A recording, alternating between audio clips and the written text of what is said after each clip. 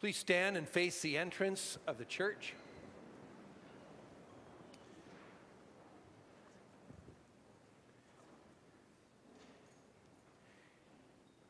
It's here at the entrance of the church where we greet the remains of Patrick Bell, right next to the baptistry, reminding ourselves that it's when he was baptized that he received the promise of eternal life.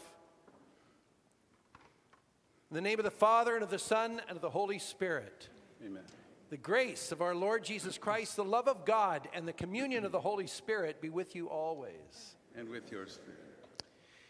In the waters of baptism, Patrick McNamee Bell died with Christ and rose with him to new life. May he now share with him in eternal life. Now I direct your attention to the cantor, Mr. McCarthy, who used to teach music here for many years.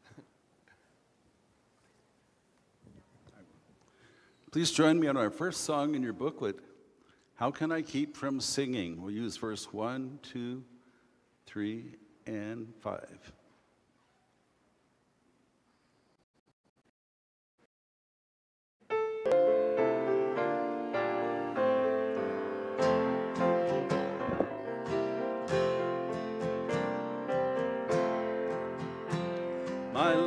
Flows on in endless song above earth's lamentation. I hear the real, though far off hymn that hails a new creation. No storm can shake my inmost calm, while to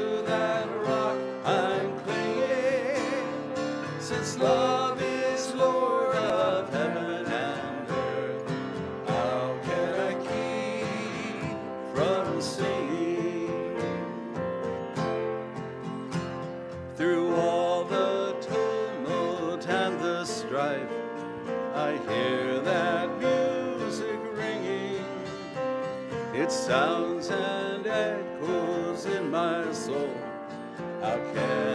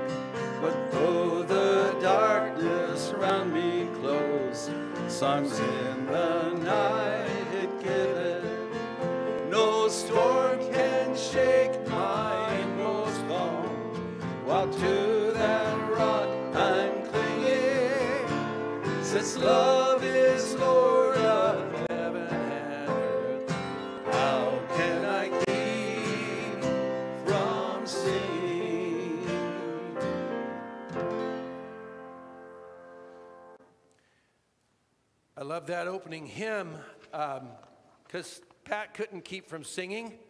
It's probably Elvis or the Beatles, but, but uh, also songs of prayer, praise at church.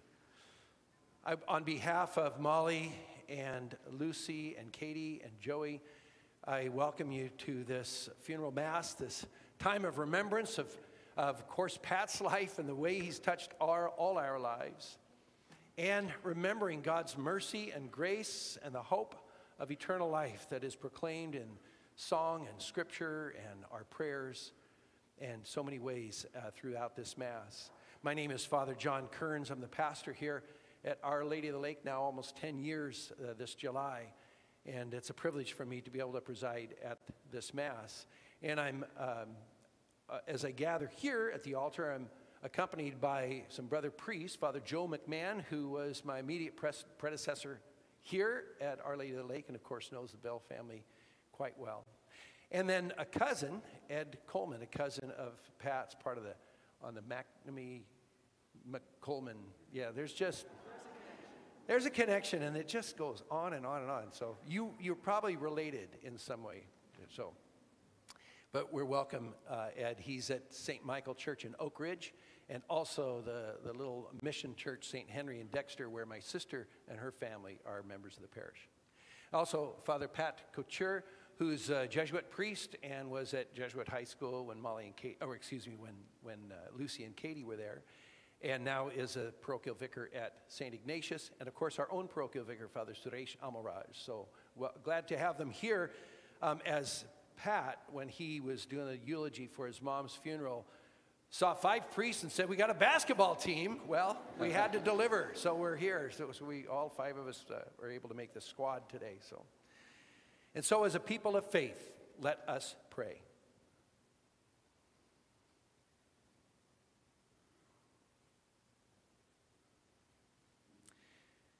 Listen kindly to our prayers, O Lord, as our faith in your Son, raised from the dead, is deepened. May our hope of resurrection for our departed brother and your servant, Pat, be, also find new strength. Through our Lord Jesus Christ, your Son, who lives and reigns with you in the unity of the Holy Spirit, God, forever and ever. Amen. Amen. Now, as we listen to the sacred scriptures, I invite you all to be seated.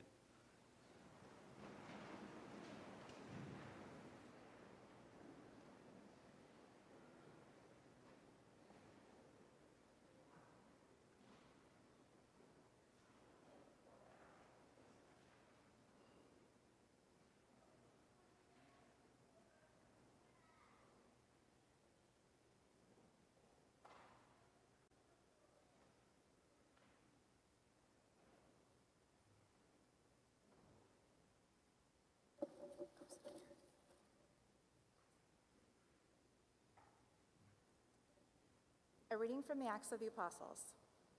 Peter proceeded to speak, saying, In truth, I see that God shows no partiality. Rather, in every nation, whoever fears him and acts uprightly is acceptable to him. You know the word that he sent to the children of Israel as he proclaimed peace through Jesus Christ, who is the Lord of all. He commissioned us to preach to the people and testify that he is the one appointed by God as judge of the living and the dead.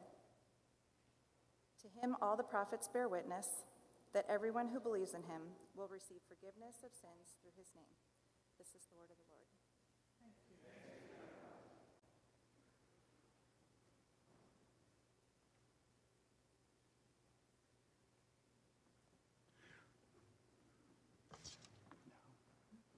Please join me on the refrain of The Lord is my shepherd. You'll find that on page four in your books.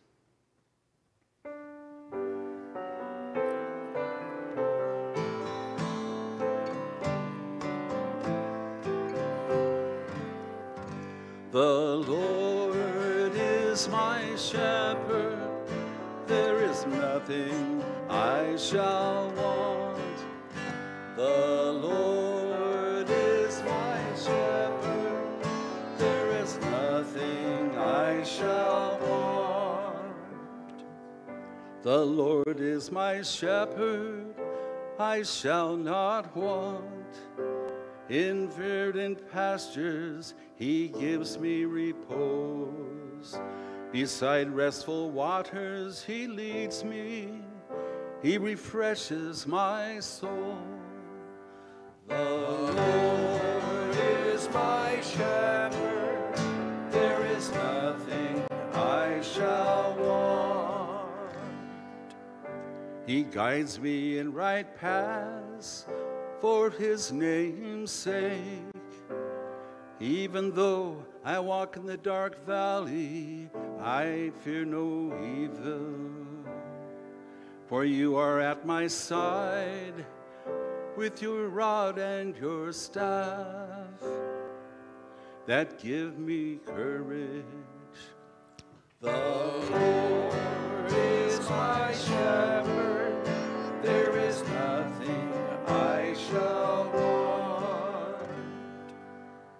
You spread the table before me in the sight of my foes. You anoint my head with oil, my cup overflows. The Lord is my shepherd there is nothing I shall Only goodness and kindness follow me all the days of my life, and I shall dwell in the house of the Lord for years to come. The Lord is my shepherd,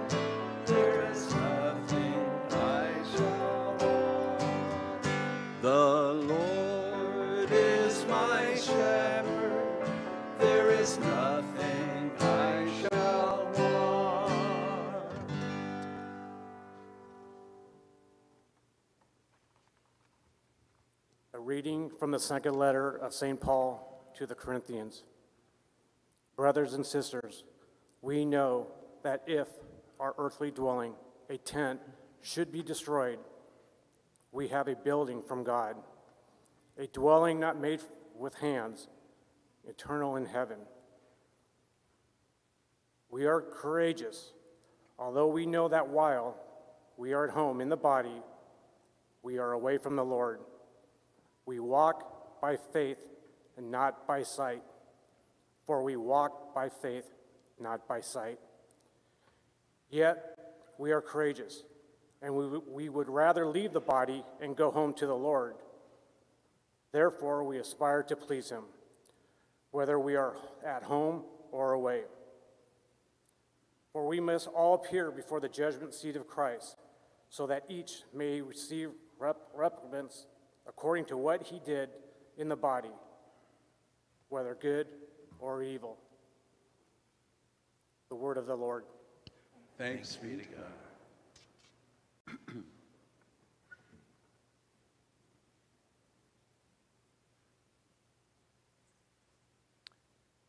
Now, as we prepare to hear the gospel, as a sign of reverence, because these are the very words of Christ, I invite you to stand and join in the singing.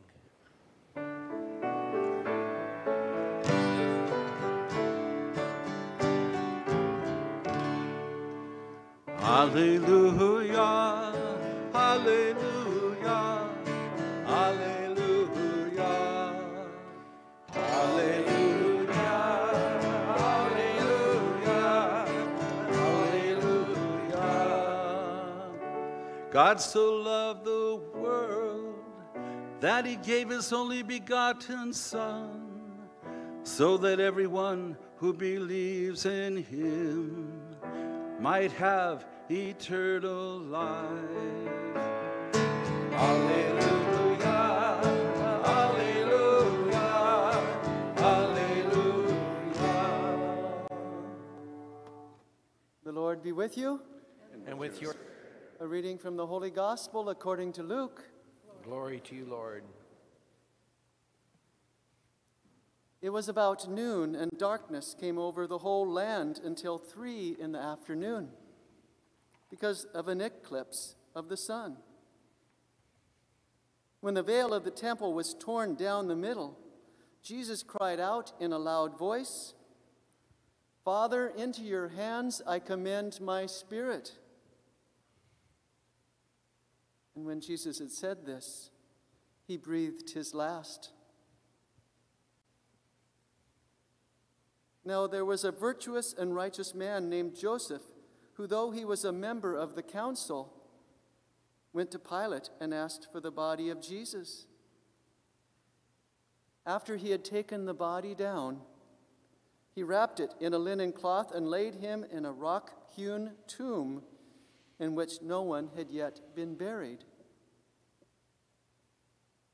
At daybreak on the first day of the week, the women took the spices they had prepared and went to the tomb. They found the stone rolled away from the tomb, but when they entered, they did not find the body of the Lord Jesus.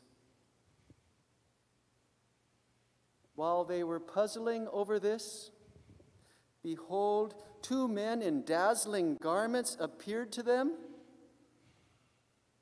They were terrified and bowed down their faces to the ground. They said to them, Why do you seek the living among the dead? He is not here, he has been raised. The Gospel of our Lord. Praise, Praise to you, Lord Jesus. Christ. You can place it under. Thank you.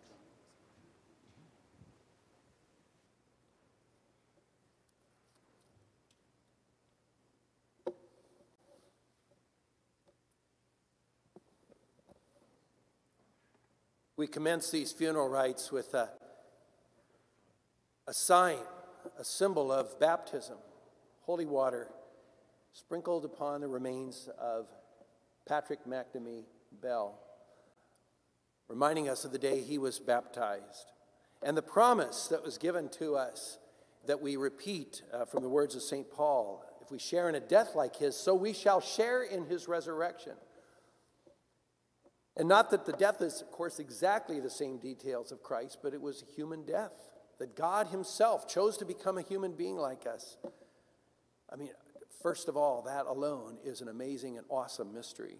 That God would love us so much that He would become one of us and face all the struggles we face, all the temptations we face, all the sufferings that we face, and even death, so that we could be saved, so that He could break the bonds of death and provide a day like this where we can gather as people of hope, not despair. And uh, the, the evangelist reports to us that it was about 3 o'clock. Well, so it was for Pat. So it was about 3 o'clock, a little after 3 o'clock, as uh, he, he and his brother were praying in the room. The family was all there. But it's also the promise that we might have that hope of resurrection. It's a beginning, as baptism was a beginning or a trajectory toward the hope of eternal life. And in today's second reading, we hear St. Paul describe it again in this way Brothers and sisters, we know, we know that our earthly dwelling, a tent, will eventually be destroyed. It'll be torn down. We know this life is not permanent.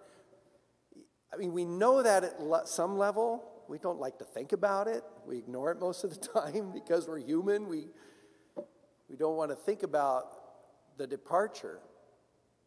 But St. Paul reminds us it's also about the arrival, the hope that we have in eternal life, because we have a building. He said, even though this tent may be destroyed, we have a building from God, a dwelling not made of human hands, but eternal in heaven. That's what draws us here. That's what draws us here. Although we do focus on the tragedy of Pat's death, because that just is overwhelming.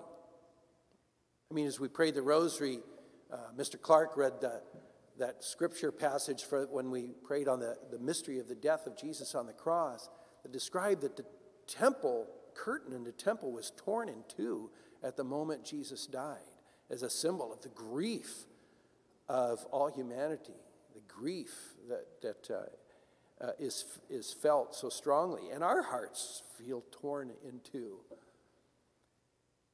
And we can be overwhelmed by that, just way too young. A man too much alive, you know, more alive than most of us. You know, they say sometimes it'll take two people to replace him. You know, no, more like three or four, you know. A great loss. But if we stop there, we're filled with despair. If we stop there, we're filled with despair. But the Christian heart focuses on eternity.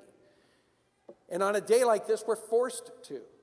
Sometimes we're forced to before we're ready for that. And, and, but we need to remember that that's the ultimate trajectory. Not with the idea that we should get over the death. No, not like that at all. In fact, I don't want to get over, I don't, I don't possibly ever want to forget someone of the likes of Pat Bell. But, but it makes us more conscious that our relationship with him still exists, but now in an eternal fashion through Christ through Christ alone. As a, one of the prayers in the Catholic rituals uh, says in another place that, that though, you know, it seems that, that uh, this, our hearts have been broken, that uh, our, our, our, our ties are still strong. The relationships that we have are not unraveled in death, is the way it says. Our relationships are not unraveled in death. But events like this force us to see new re- realities in a new way. This is why we pray for eternal salvation.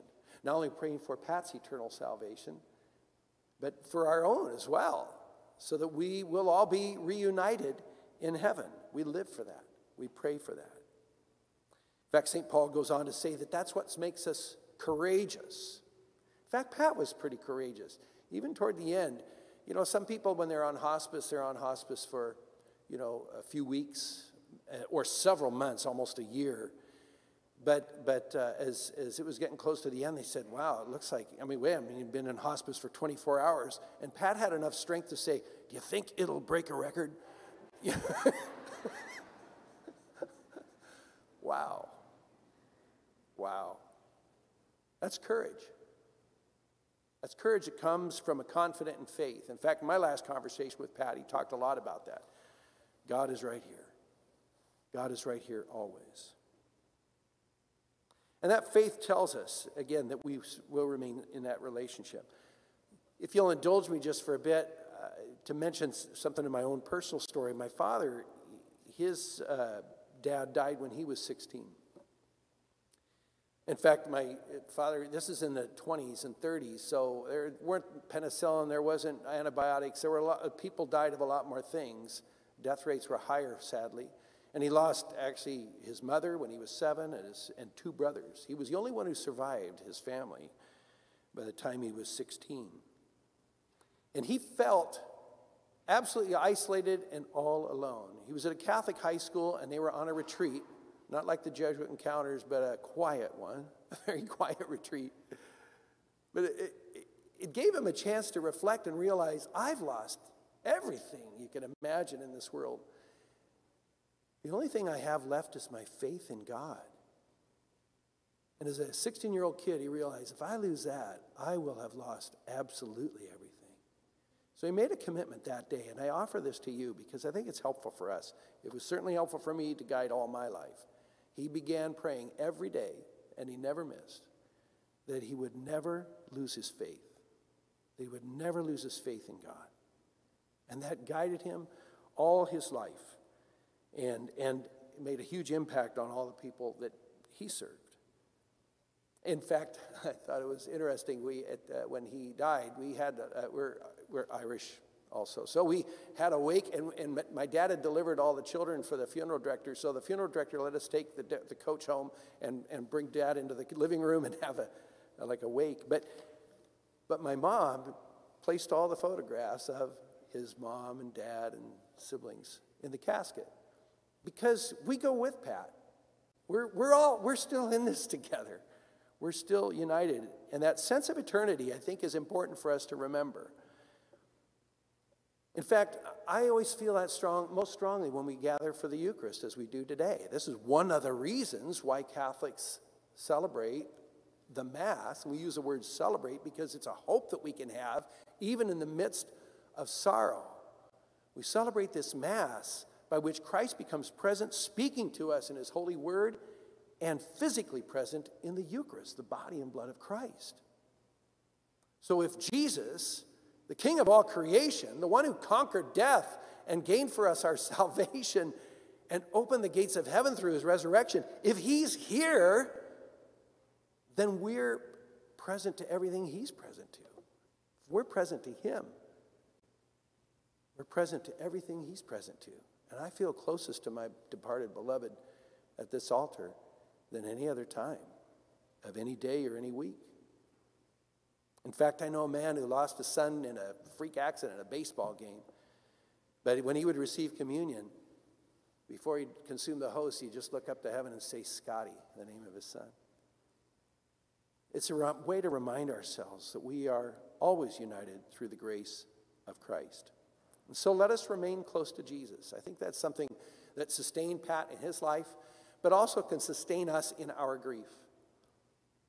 Stay close to Jesus, who, who when the apostles were most worried about where is this all going, at the Last Supper, they're trying to figure this out. How do we know the way? Thomas asked that question, the apostle. Jesus tells him, I am the way and the truth and the life. No one comes to the Father except through me. The Father who created everything and sent his only Son, who was also there at creation, but now born into time, is saying, Follow me. I am the way. I am the way and the truth and the life. Therefore, let us entrust Pat to Jesus to lead him on the way to heaven. Let us also take consolation in the truth, the truth of God's love for us. Love so great that we don't even have to fear death.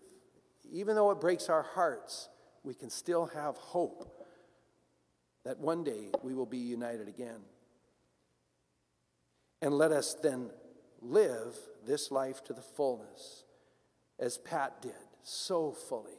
He lived this life, so that one day we may enjoy with Pat and all the saints and all our beloved departed, and of course, Christ Himself, the fullness of life in heaven with Jesus, who is the way and the truth and the life.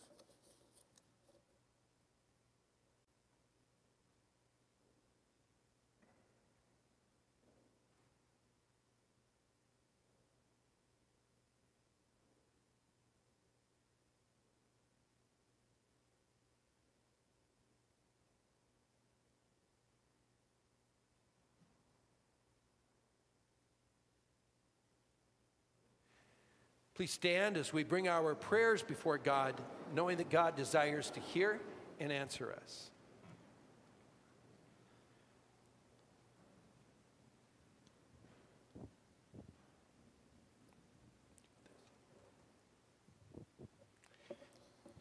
Please respond, Lord, hear our prayer, to the following petitions. For our church community, that collectively we may be an example of God's peace, love, and joy through our words and actions. We pray to the Lord. Lord, Lord hear, hear, our, prayer. prayer. That the bishops and priests of the church and all who preach the gospel may be given the strength to express in action the word they proclaim. We pray to the Lord. Lord, Lord hear, hear, our prayer. prayer. For those who are experiencing the pain of cancer, Crohn's disease, or any other illness, may they be comforted by God's healing grace. We pray to the Lord. Lord, hear our prayer. For my dad, who lived a life of generosity and dedication to God and his family, that he may be welcomed with love and joy into the heavenly home of the eternal Father. We pray to the Lord.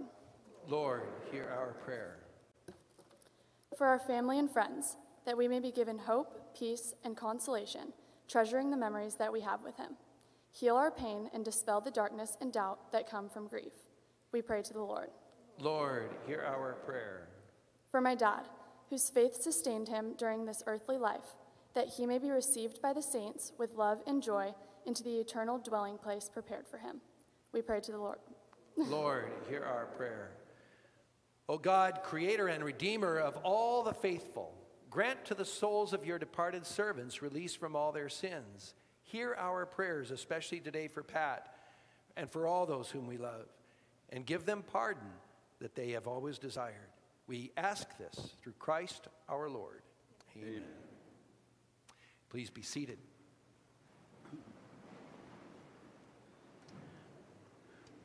Please join me on page six Be Not Afraid.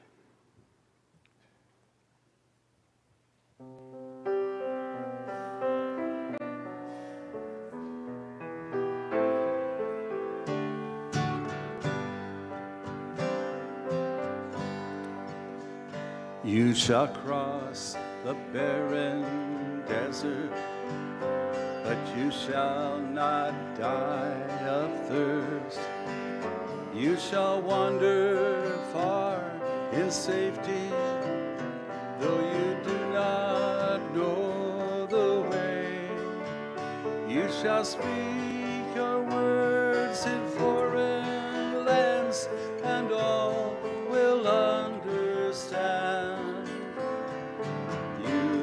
shall see the face of God and live. Be not afraid.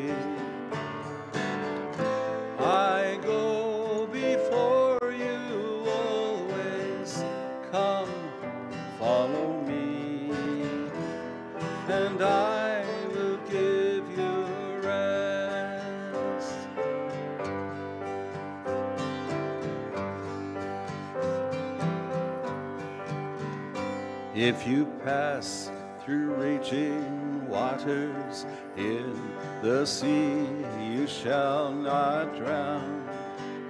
If you walk amid the burning flames, you shall not be harmed. If you stand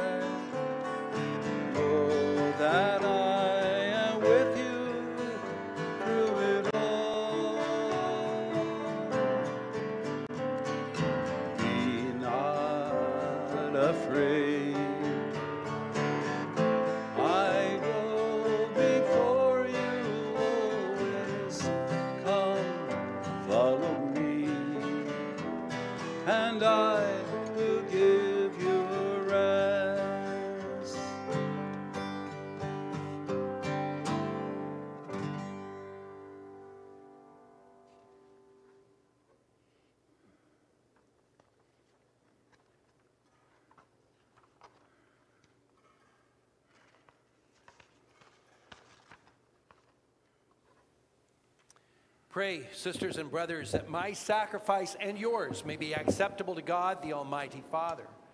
May the Lord accept the sacrifice at our hands for the praise and the glory of his name, for our good and the good of all his holy church. Look favorably on our offerings, O Lord, so that your departed servant, Pat, may be taken up into glory with your Son, in whose great mystery of love we are all united through Christ our Lord. Amen.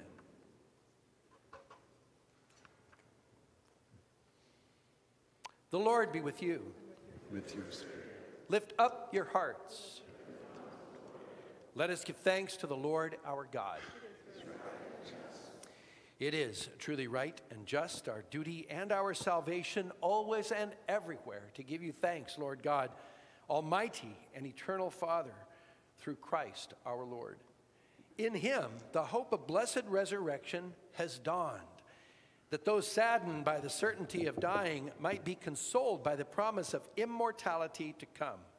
Indeed, for your faithful Lord, life is changed, not ended. And when this earthly dwelling turns to dust, we gain an everlasting dwelling place ready, made for us in heaven.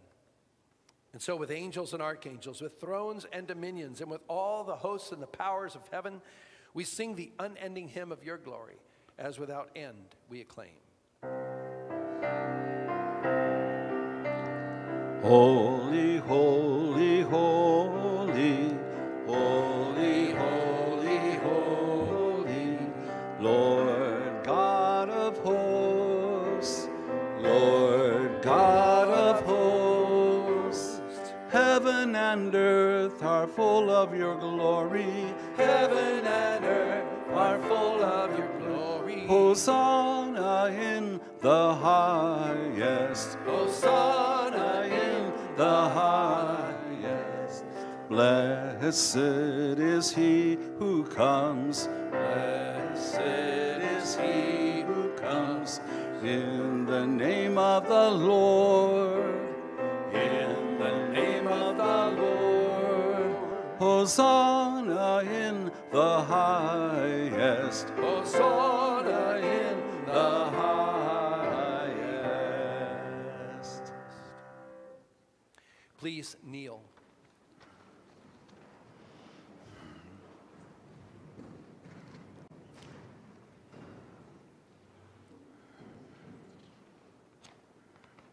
You are indeed holy, O Lord, and all you have created rightly gives you praise. For through your Son, our Lord, Jesus Christ, by the power and the working of the Holy Spirit, you give life to all things and make them holy. And you never cease to gather a people to yourself, so that from the rising of the sun to its setting, a pure sacrifice may be offered to your name. Therefore, O Lord, we humbly implore you, by the same Spirit, graciously make holy these gifts we have brought to you for consecration, that they may become the body and blood of your Son, our Lord, Jesus Christ, at whose command we celebrate these mysteries. For on the night he was betrayed, he himself took bread. And giving you thanks, he said the blessing. He broke the bread and gave it to his disciples, saying, Take this, all of you, and eat of it. For this is my body, which will be given up for you.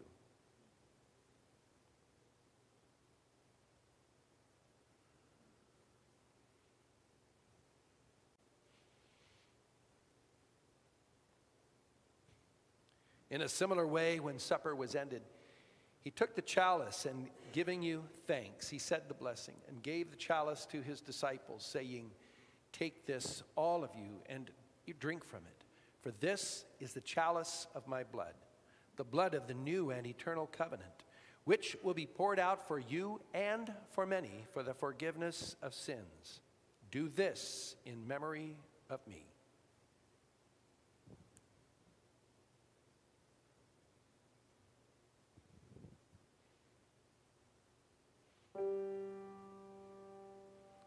The mystery of faith.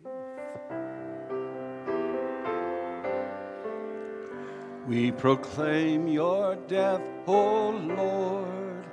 We proclaim your death, O Lord, and profess your resurrection. And profess your resurrection until you come again. Until you come again. Therefore, O Lord, as we celebrate the memorial of the saving passion of your Son, his wondrous resurrection and ascension into heaven, and as we look forward to his second coming, we offer you in thanksgiving this holy and living sacrifice. Look, we pray upon the oblation of your church and recognizing the sacrificial victim by whose death you willed to reconcile us to yourself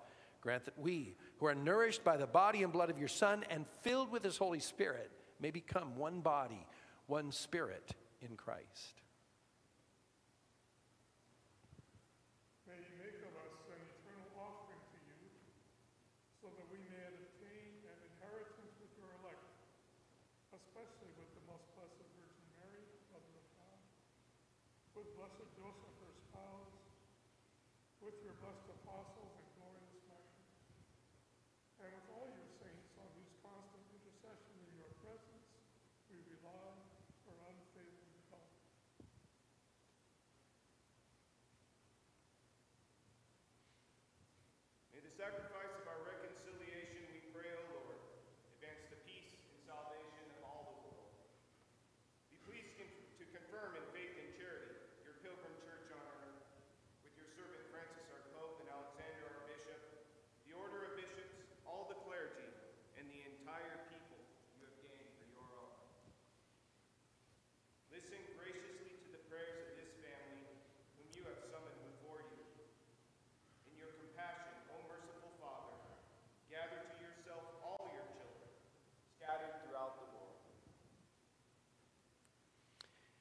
And remember your servant Pat, whom you have called from this world to yourself.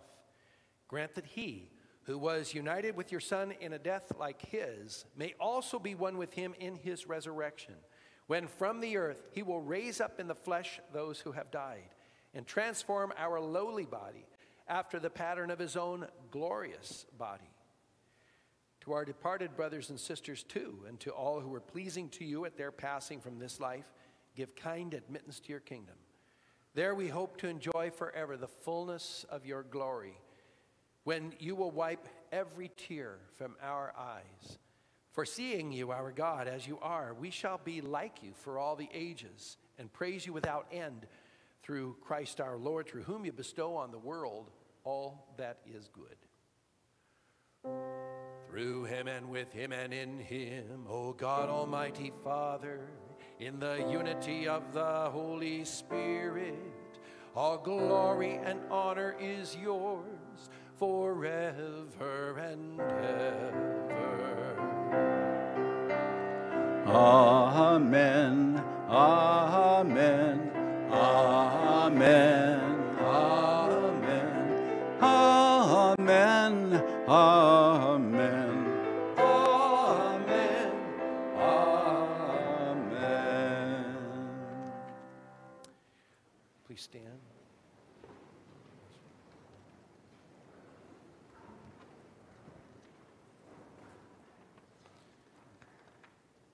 We are at the top of page nine in the order of worship. At the Savior's command, informed by divine teaching, we dare to say, Our Father, who art in heaven, hallowed be thy name. Thy kingdom come, thy will be done, on earth as it is in heaven. Give us this day our daily bread, and forgive us our trespasses, as we forgive those who trespass against us. And lead us not into temptation, but deliver us from evil. Deliver us, Lord, we pray, from every evil. Graciously grant peace in our days, that by the help of your mercy, we may be always free from sin and safe from all distress, as we await the blessed hope and the coming of our Savior, Jesus Christ. For the kingdom, the power, and the glory are yours, now and forever. Lord Jesus Christ, who said to your apostles, Peace I leave you, my peace I give you. Look not on our sins, but on the faith of your church, and graciously grant her peace and unity in accordance with your will, who live and reign forever and ever. Amen. The peace of the Lord be with you always. And with your spirit. Let us offer each other a sign of Christ's peace.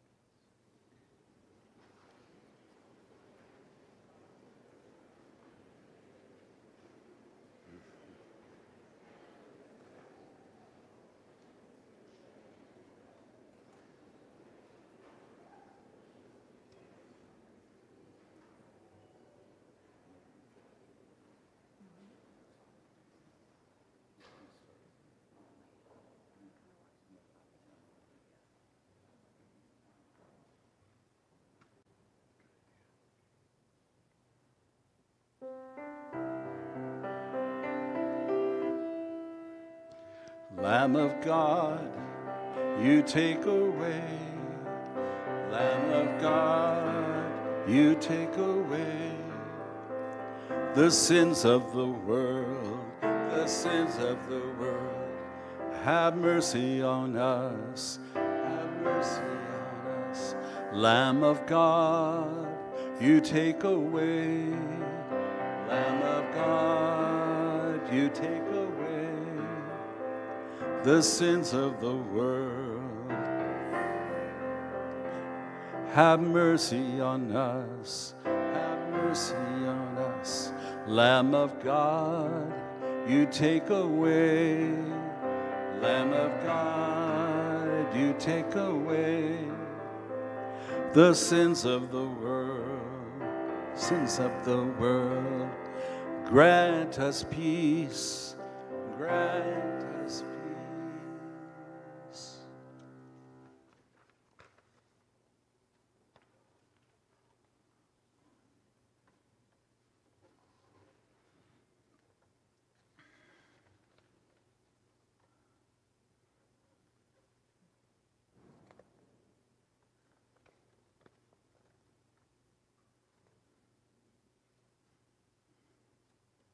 Please kneel.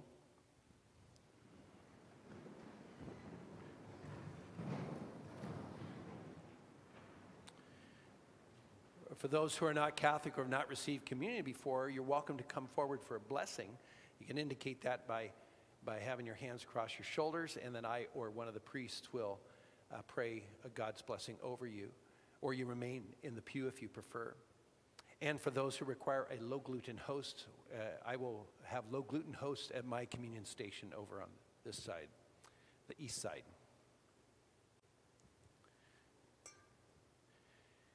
Behold the Lamb of God.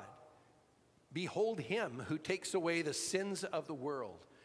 Blessed are those called to the supper of the Lamb.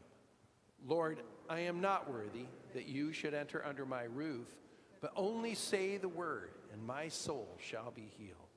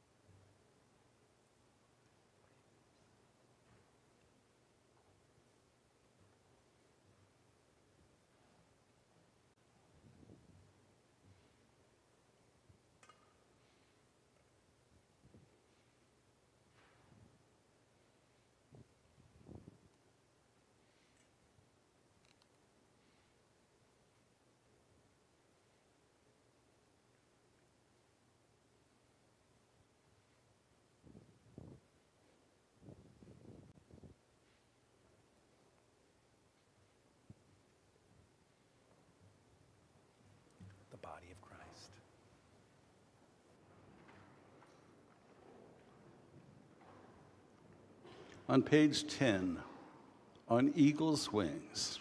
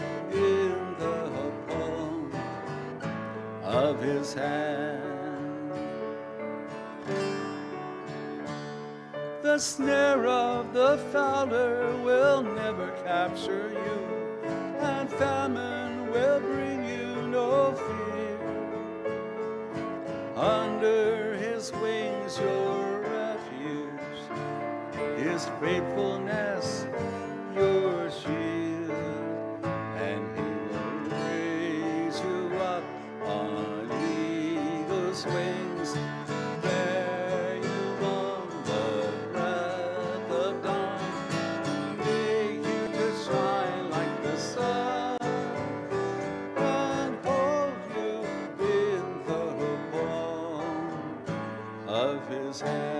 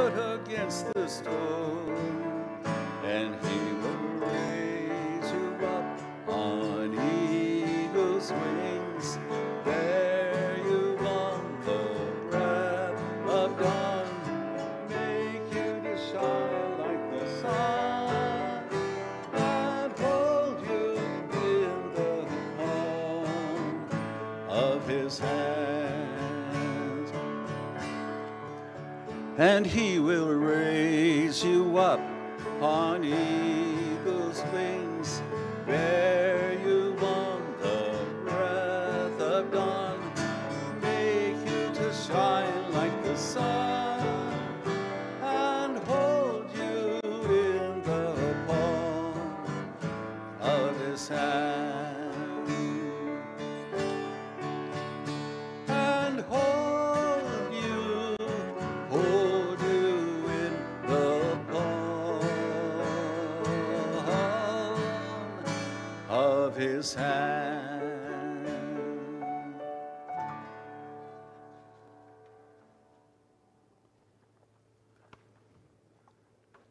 bread of life, page 12.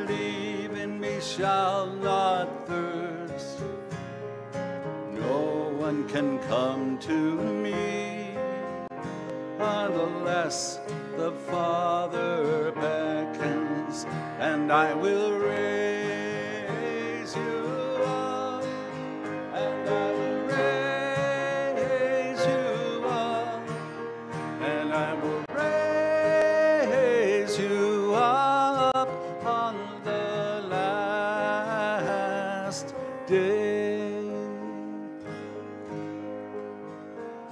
The bread that I will give is my flesh for the life of the world.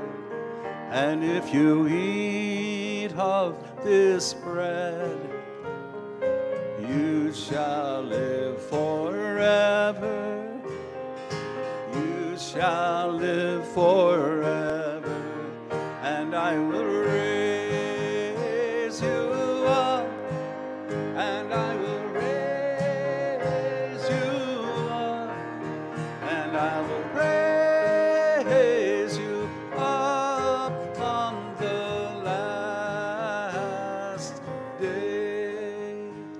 Verse 4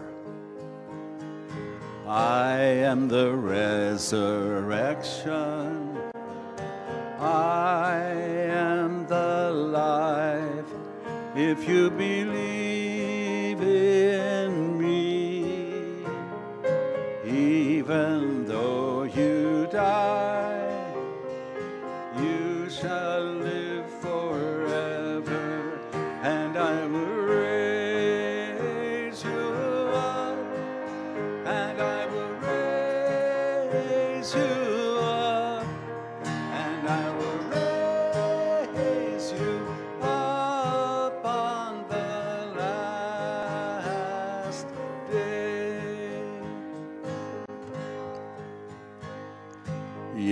Lord,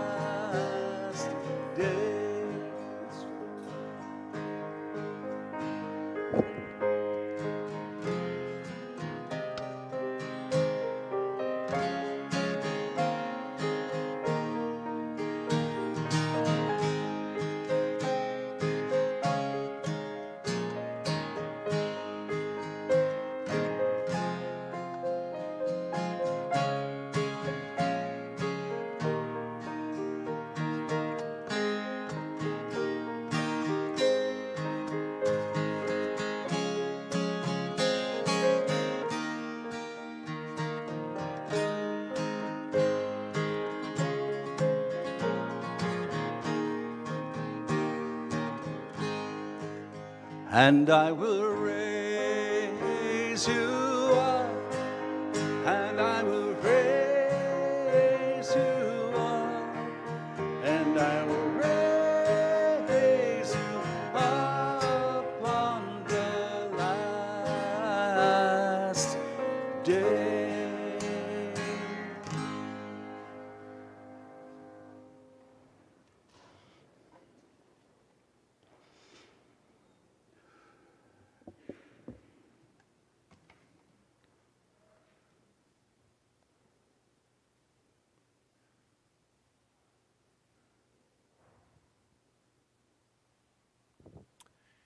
Let us pray.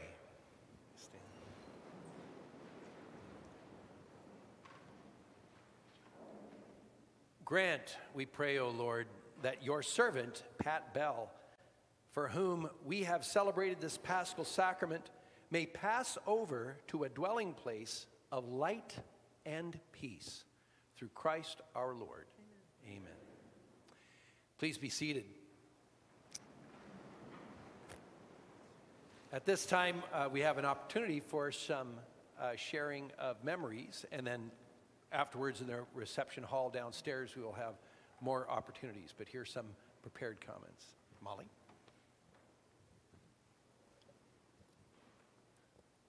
Pat was the public speaker between us, so I'm going to try my best to make him proud. Um, Pat wanted to come to his own funeral, but Father John had to burst the bubble a little bit and explain that of Catholic funerals to pray for the repose of his soul and would have to take place after he passes. So Pat helped us plan this funeral. He picked the music and he picked the, out the bracelets that say "Pray for Pat." If you didn't get one, they're at the entrance. Um, wear them proudly for Pat. This eulogy was written by the kids and I. We want to thank everyone for showering our family with love over the last month. Thank you to the starting lineup here. Pat would be really happy that he had a team of five up here. Pat leaves behind a legacy that most would envy. I don't need to describe the kind of man that Pat was because through all the CaringBridge and Facebook comments and the packed church, it's apparent that everyone knows what kind of a guy he was. And we know that everyone in this church also has a Pat Bell sized hole in their hearts. Our Lady of the Lake is a special place for our family. Pat has been a parishioner here his entire life. We got married here. Pat and the kids went to school here, and our kids received all their sacraments thus far here. This front corner is our spot. Pat wanted the kids to sit up here so they would see what's going on on the altar and be more engaged in Mass. Somewhere along the way, it also dawned on me that Pat is a planner and a safety guy, and sitting up here would provide a quick escape in the event of any kind of emergency. Speaking of safety, when there was a criminal on the loose in Lake Oswego 10 plus years ago, Our Lady of the Lake went into lockdown. Pat called me minutes after the school email came out and said he was already parked in front of the school. I asked him what he thought he could do, and he said, I don't know, but I have my golf clubs in my trunk and a whistle, and I will, and I will make that guy sorry if he comes near the school. And he really would have done anything to protect any child, anytime, anywhere. Pat was the most amazing father to Lucy, Katie, and Joey. He coached all three of them in numerous sports throughout the years. In addition to sports, he never missed a teacher conference, dance recital, field day, jogathon, or school performance of any kind. He knew all the softball cheers, the names of all the horses at Katie's barn, and all the Jesuit cheers when the girls started cheerleading for the Crusaders. He also sang proudly to Taylor Swift, Justin Bieber, and Hannah Montana, and made sure that the kids knew all the words to his favorite Elvis and Beatles songs. When the kids were little, he seriously wanted to apply to be the fifth wiggle because he had the dance moves. Pat was so proud of our kids. They were always his number one priority, and he worked hard to give us a great life. He was so proud to watch Joey play varsity basketball last year. He beamed with pride and a hint of jealousy at the LaSalle game when his high school basketball coach, Cleghorn, told Joey that he was better than Pat ever was. we are blessed that we will continue to see the best parts of Pat in our kids. All three of them got his kind, faithful, and generous spirit, his dry sense of humor, and his love of the Portland Trailblazers. Katie has Pat's beautiful blue eyes and is cautious, patient, and compassionate, and can make a quick exit just like Pat. Joey inherited his athleticism, his quiet competitiveness, and his mild mannered disposition. Lucy got his not so quiet competitiveness, drive, and confidence. Pat loved everything about Christmas. Every year, he strived for our house to look as much like Clark Griswold's as he could, because he wanted to make sure Santa would see our house. He loved spoiling his kids and nieces and nephews, especially on Christmas. We would go into Toys R Us together, and Pat would get his own shopping cart, fill it up, and then overflow into my shopping cart. And that was just his first trip there. Outside of being a dad and a husband, coaching was Pat's greatest achievement. He started coaching at the age of 20 and over the years has coached football, basketball, soccer, baseball, and softball.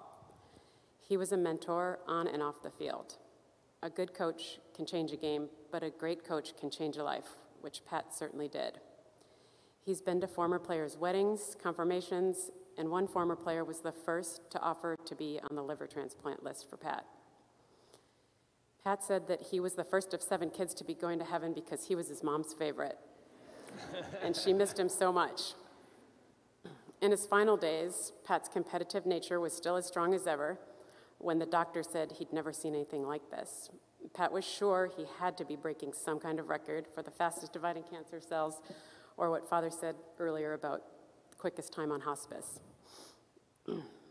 he was still his sweet self up to the end, thanking us for taking care of him and telling us he loved us.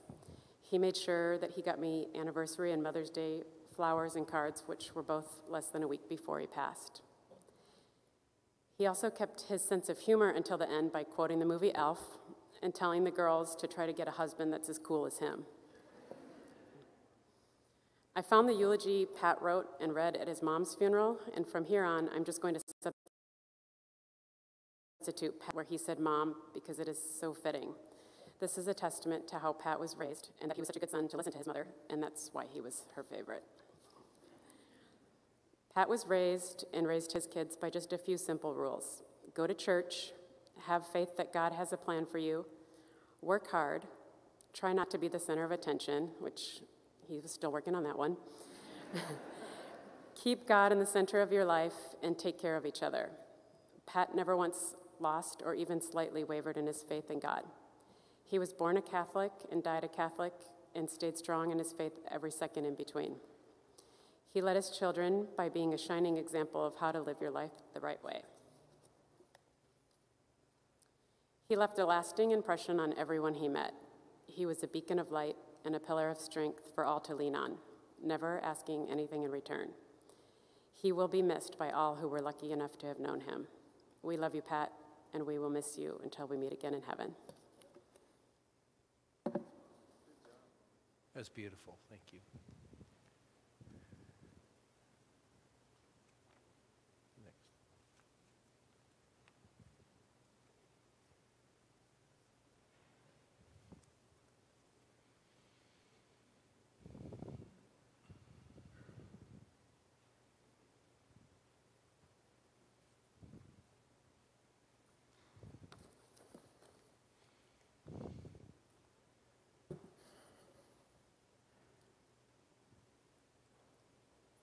Five foot nine inch sophomore from LaSalle High School, starting point guard, Pat Bell.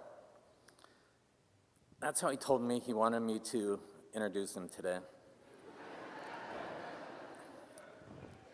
I thought about what he said, and then I gently and compassionately reminded him that he was the backup point guard. Uh, you can say those things to your dying friend when you've been best friends for 42 years. Uh, it's very hard to stand here and come up with the right things to say about someone who's been a part of my life for so long. Uh, my name is Jeff McLaughlin, and Pat and I, like I said, have been best friends for 42 years. I have hundreds and hundreds of memories and stories that involve him. Uh, we met during gym class freshman year at LaSalle in 1980. Uh, we bonded over a shared interest in playing and talking sports, music, trying to be funny, surviving high school. We stayed great friends forever, telling stories to each other. It usually started with, Do you remember when? Pat loved giving people nicknames. Mine was Mac. Uh, a friend from high school recently told me that she's heard me and Mac for as long as she can remember. Hearing her say that put a big smile on my face and made me realize how many things we did together, the experiences that we had, and how much I'll miss that. Pat was a good athlete in high school. He was competitive, but more than anything, he was tough and smart. He loved basketball the most, but honestly, baseball and football were his best sports. Our high school team was not great at football, but Pat was a great leader, and guys wanted to play with him, and they responded to him. He was a great friend in high school. He wasn't shy about being the center of attention. He liked a big house. He was nice, he laughed at himself, and he loved making other people laugh. But when I think about him back then, what stands out more than anything is that people gravitated towards him. It's hard to do in high school, but he had it. And by the looks at how many people are here today, people still gravitate towards him. Pat was also a goofball and had a very mischievous side. We once spent a weekend at the beach, and Pat convinced me that we should talk in British accents all weekend because he thought girls would be more attracted to us if we were British. I, have never been to the UK, never spoken with a British accent, and I sounded very bad. Pat, on the other hand, had evidently been practicing his accent for years uh, for just this moment because he sounded perfect. The story goes on and on, but know that yes, girls do like guys with British accents. Uh, he loved quoting movies too. We once rented a movie, Strange Brew, and watched it at my parents' house. And then that weekend, a snowstorm came in, and we got stuck at the house for days. We watched that movie over and over, and then proceeded to drive our friends crazy by quoting it out nonstop for the next five years. Other movies got the same treatment. He loved Caddyshack, Stripes, Ghostbusters, Fletch, Bull Durham. I'm struck by the fact that my friend isn't here to banter anymore with me about that. We had other many great friends at LaSalle, and we all became inseparable. The list of things I've done with him and this group of friends is long. We went on trips together. We've been to Vegas multiple times, Mexico, Sun Valley, Southern California, and to Green Bay for a Packers game. Recently, we were planning a golf trip to Nevada and also a trip to Costa Rica. Uh, we went to many concerts together over the years. Pat loved Huey Lewis, The Outfield, The Beach Boys, The Cars, Paul McCartney, which we've seen five, six, seven times, Van Halen. We went to college together, we lived together, and we spent many nights having way too much fun together. Um, I think I probably need to take a moment and personally thank Pat's five older siblings. Thank you for being so much trouble for your mom. By the time Pat and I was in high school, being child number six meant he had a certain amount of leeway because his mom was so tired from raising the older kids. We, of course, utilized this leeway to our advantage. I'd especially like to give a special shout out to his brother John, because no matter how much trouble Pat and I got, in, got into, it was never as bad as what John did. Pat loved his family, all of his family. In high school, he used to bring his other old, younger brother Tim over to my house Tim and I are still great friends, and I recently told him that a bell has been in my family for 42 years. And without Pat around, I'm going to need Tim to step up his game. There's a huge void, and I'm going to need Tim to be that bell in my life. Pat had a very close family, and it was very fun to be part of that. He idolized his older brothers, Brian and Mike. He thought they were so cool because they played music. John entertained us, even though we know he didn't want to hang around us. John, I'm sorry, but whenever you weren't home, we'd hang out in your room and go through all your stuff. Pat loved his sisters, Colleen and Sheila, and they loved him. They came to all of our games and were so protective of him. In the next breath, they'd tell him what he was doing wrong on the basketball court or the baseball field. They let me into the family, and I consider them family today. Pat was there for many things in my life, and the lives of many of our friends. He was with me when I went out on my first date with my wife in high school. Uh, he was also there with me when I broke up with her three months later. Uh, but he was there again three years later on our second first date. Nina and I returned the favor when we went out with him and a girl named Molly on their first date.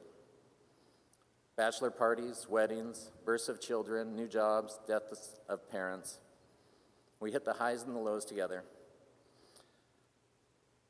I'm sure you've heard that Pat loved 50s and 60s music. He loved all kinds of music, and he pretty much knew the lyrics to every song from the 50s and 60s. He especially loved the Beatles, but what he really loved listening to, besides the Beatles, was Elvis. Pat loved Elvis. I think what he loved more than listening to Elvis, though, was thinking he was Elvis. Not the old Elvis, but the young, cool Elvis. Give Pat a microphone and be prepared to enter- be entertained because you're going to get the Elvis lip curl, His leg would start to shimmy, and then he'd start swinging his hips and actually sing. The picture on the back of the program sums him up perfectly in this moment. He had the voice, he had the moves, but what he, what he really had was the confidence. This always amazed me about him. I'm slightly embarrassed and also, also entertained, but we, we made music videos when we were young, and Pat was not surprisingly Elvis in all these videos. Also, not surprisingly, he looked great. Somewhere tucked in Pat's house, there's a video of us lip syncing late at night in my basement, and there's Pat, front and center, hamming it up with all of his friends. It was a lot of fun to be his friend. Uh, friendships evol- evolved. Instead of, instead of high school, parties, road trips, and sports, we got older and hopefully smarter. We both bought houses in West Linn. We played basketball here at OLL. We played golf, went on dates with our wives, and met up with friends. Everyone started having children, and then somehow the conversations between Pat and I turned to whether or not Troy Bolton from High School Musical was any good at basketball. Sorry, girls, he wasn't. We compared notes from our favorite Radio Disney songs and continued to talk sports, music, and life. Like Molly said, coaching youth sports was a big part of his life.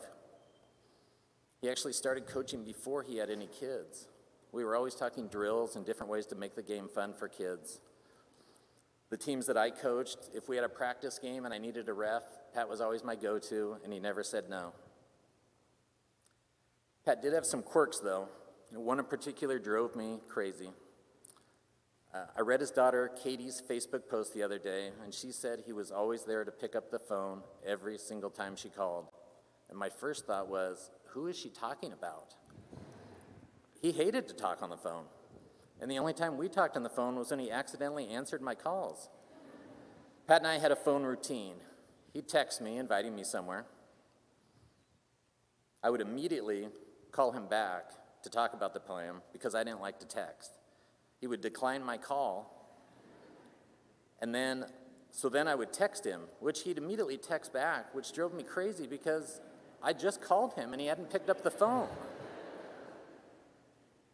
Now I'm wondering if he wasn't picking up my calls because Katie was talking to him all the time, and maybe he was talking to her. Pat was the ultimate family man. I have four children. Every single one of them love him. Uh, and they thought he was much cooler than me. He connected with them like I'm sure he's connected with you, your child. He connected with kids because he still had a lot of kid in him. He loved being a husband and a dad. He's so proud of his kids and the people they've become.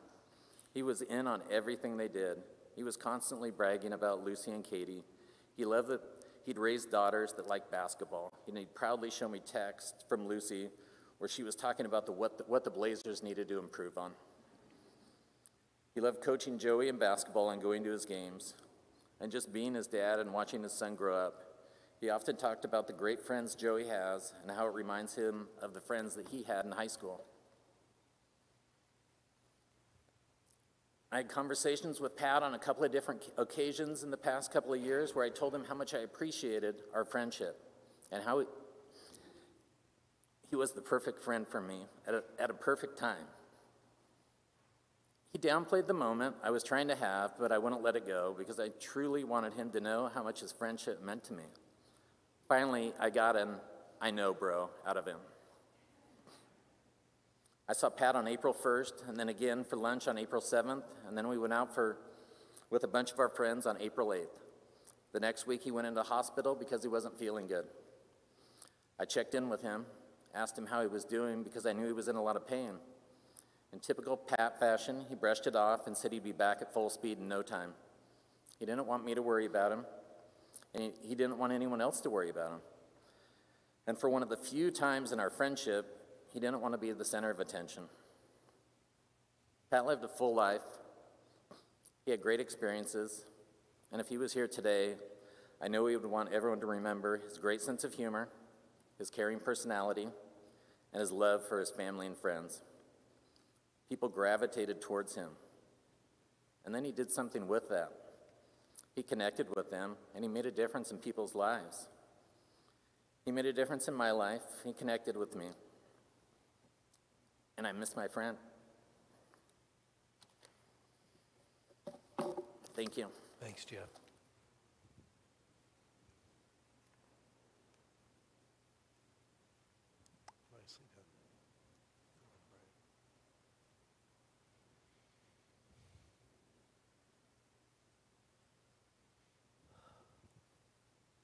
For Molly, Lucy, Katie, and Joey. To thank everybody who's come here today to pay homage to Pat. He was a great brother, a great husband, a great father. But I'm here to tell you, he did set some records today for the most people I've ever seen in this church. yeah, maybe standing room only. And he actually beat Ma Bell's record with the fact that Mr. Father Greiner couldn't make it today, so that would have made six. Now, Mom only had five. So, um, what we want to let you know is we're going to have a reception downstairs. Of course, everybody's invited. And again, Father Kearns was there for the family, and we just really appreciate it for all of us. So, with that, Father. Thanks. Thank you, Brian. And uh, the reception downstairs will begin uh, at the end of this Mass. And again, that's important for us to continue to remember him and over the weeks and months and years ahead to uh, remind Molly and her kids how much he impacted your life.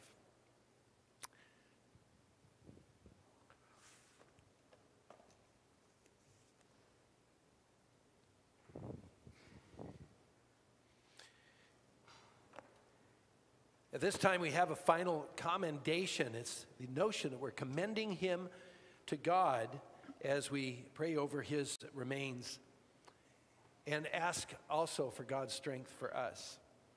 And so, before we go our separate ways, let us take leave of our brother. May our farewell express our affection for him, and may it ease our sadness and strengthen our hope that one day we shall joyfully greet him again when the love of Christ, which conquers all things, destroys even death itself.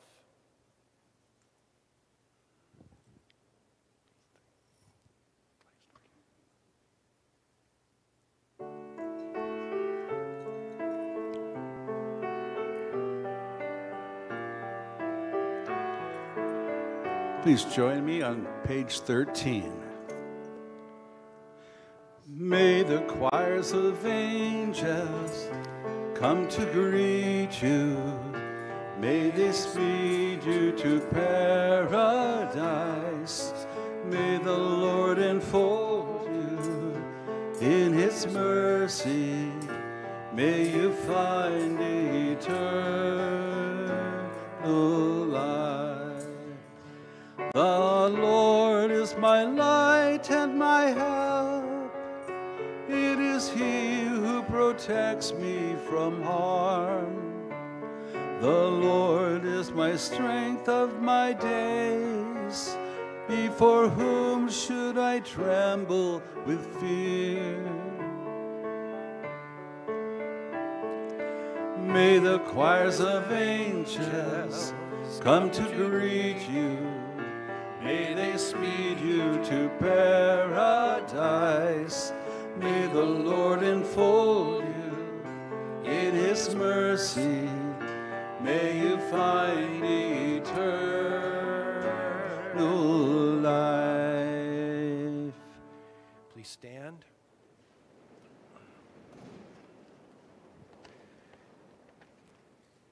To you, O Lord, we commend the soul of Patrick McNamee Bell, your servant.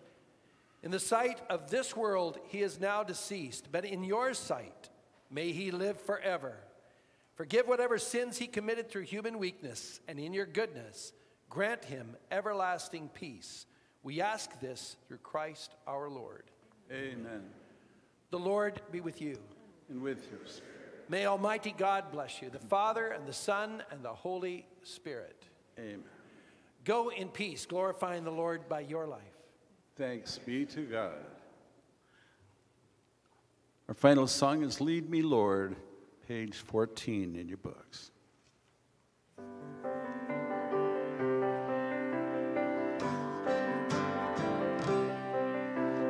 Blessed are the poor in spirit, longing for their Lord. For God's coming kingdom shall be theirs. Blessed are the sorrowing, for they shall be consoled.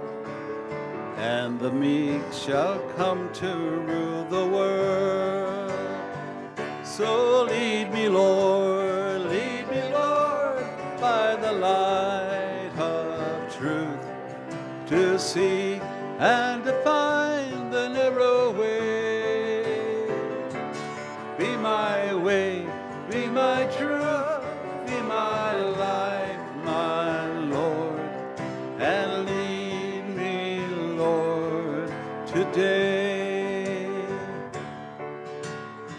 Blessed are the merciful, for mercy shall be theirs. And the pure in heart shall see their God. Blessed are they whose hunger only holiness can fill. For I say they shall be satisfied.